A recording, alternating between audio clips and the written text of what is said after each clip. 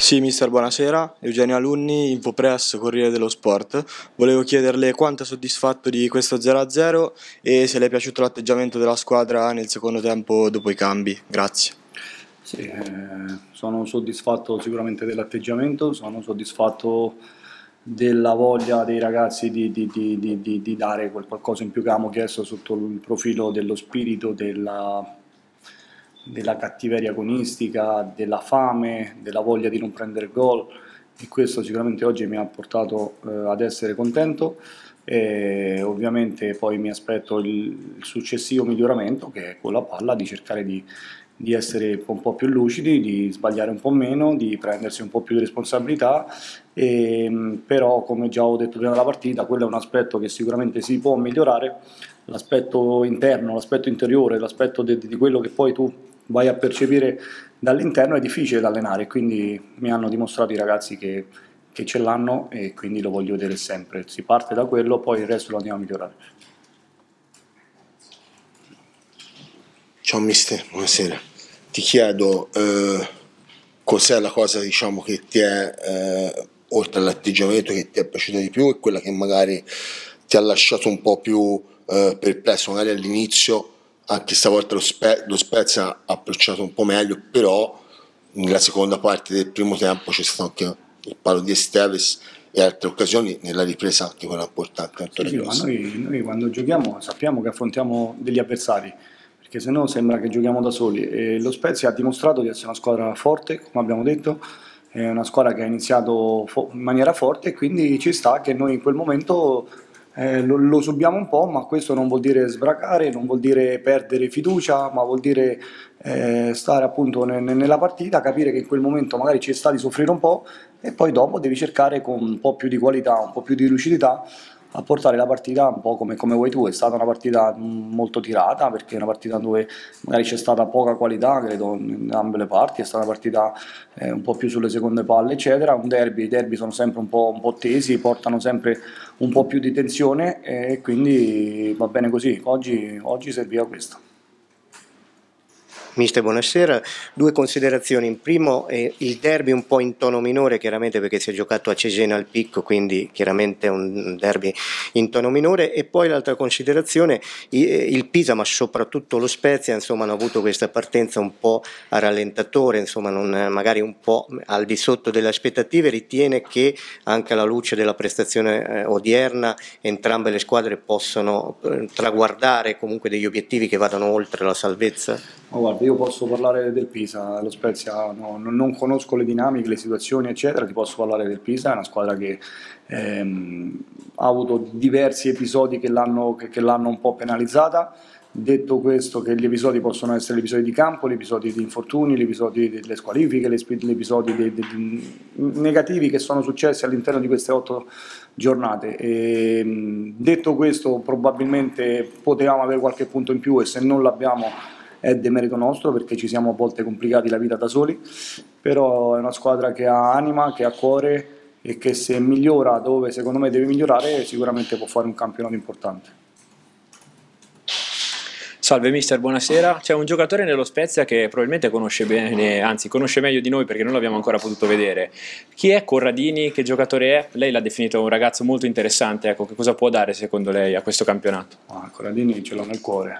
Corradini posso parlarti bene da adesso fino a domani. È un ragazzo che mi ha, mi ha dato grandi soddisfazioni, un ragazzo che, che ho visto crescere calcisticamente, che con me sta vivendo un po' quello che è successo, che sta succedendo qua, ovvero i primi sei mesi con me non ha, non ha praticamente mai giocato, però ha tenuto duro, si è allenato, ha migliorato, è migliorato e dopo è uscito fuori un giocatore determinante per quella squadra.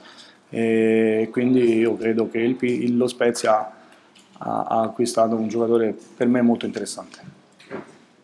Mister, ti chiedo due cose, una sull'episodio della munizione a Elia, poi si va, l'arbitro viene chiamato dal VAR e viene tolta l'ammonizione. Forse qualcuno si aspettava il rosso, visto una dinamica simile, se non penso di dire una cosa inesatta a quella dell'espulsione di Reverb. Come no, hai visto l'episodio? Secondo me di Modena. Di Modena. Perché non lo so, non ti so dare una risposta, ma, ma secondo me non la, non la, sanno neanche loro, nel senso che, che succede? Che lui lo chiamano al VAR presumo che gli dicono se tu fischi fallo è rosso, eh, altrimenti non devi fischiare fallo. Però a Modena il contatto di Hermanson non si vede, cioè non, da, da, e quindi ci hanno detto se non si vede eh, noi dobbiamo, dire, dobbiamo darlo per buono perché non abbiamo la certezza che, appunto, che era fallo, giusto? E oggi non l'ho rivisto, però non so se c'è stata questa sparata così forte, non lo so, dato che se lui fischia è rosso. E ha deciso così.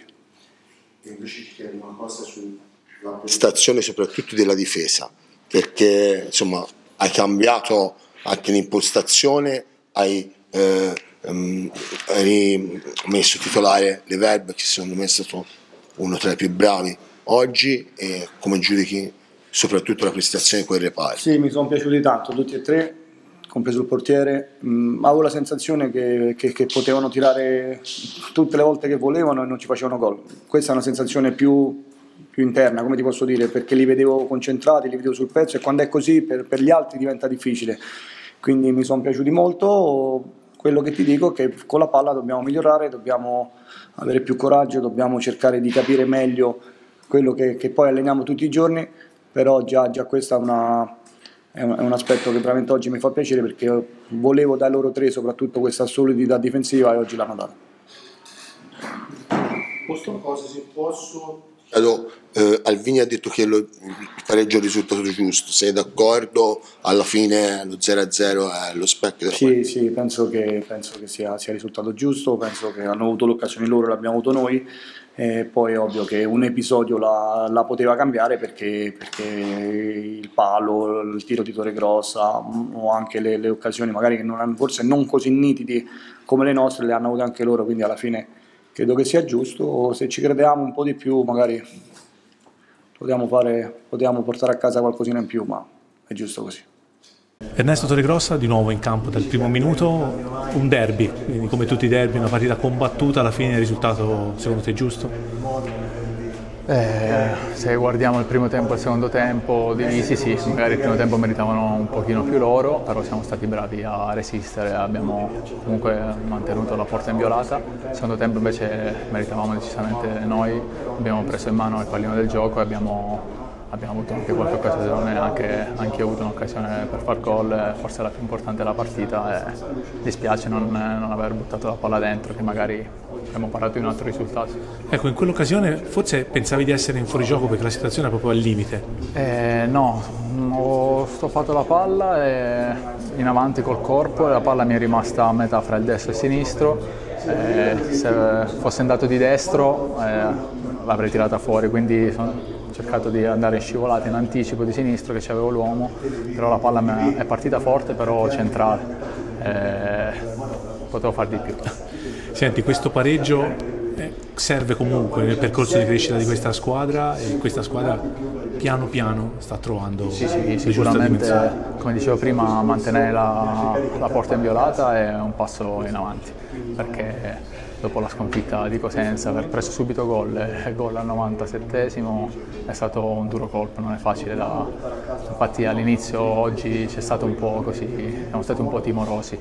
E, questo entra, eh, fa parte de, del gioco, comunque siamo stati bravi a, a, rimanere, a rimanere, concentrati e, e, non abbatterci nei momenti di difficoltà, siamo stati uniti, i difensori hanno difeso come delle bestie e, siamo riusciti a pareggiarla, ripeto, con, abbiamo preso un palo, un incrocio dei pali, eh, occasione mia, eh, occasione di piccinini, comunque abbiamo avuto eh, delle occasioni. Eh, poi sta, sta a noi eh, buttarla dentro. L'ultima cosa Ernesto, 15 giorni adesso per ricaricare le pile, poi subito due partite in casa e la trasferta di Venezia. Sì, eh, abbiamo già parlato dello spogliatoio, adesso abbiamo eh, questi, 15, questi 15 giorni per lavorare, per per trovare le situazioni tattiche giuste per affrontare il Cittadella.